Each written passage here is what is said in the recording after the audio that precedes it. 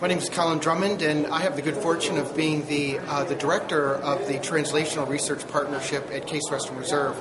This has been a five-year partnership funded by the Coulter Foundation, and what we really do is we have a fund of about a uh, million dollars a year, and we use this money to invest in companies uh, or I should say, we invest in technologies, and the technologies are usually something that's developed by someone from Case Western Reserve, so it involves Case Western Reserve technology.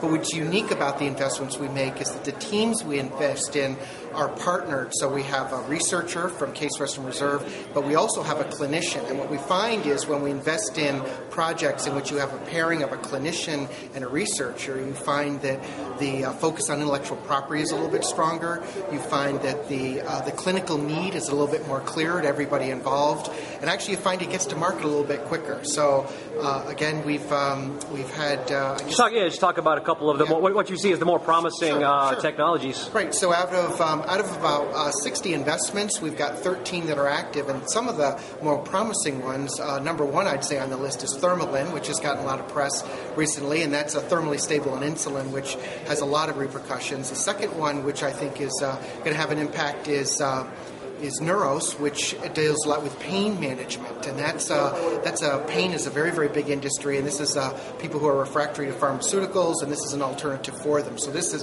having a big impact. A lot of interest from uh, companies like uh, like uh, Medtronic.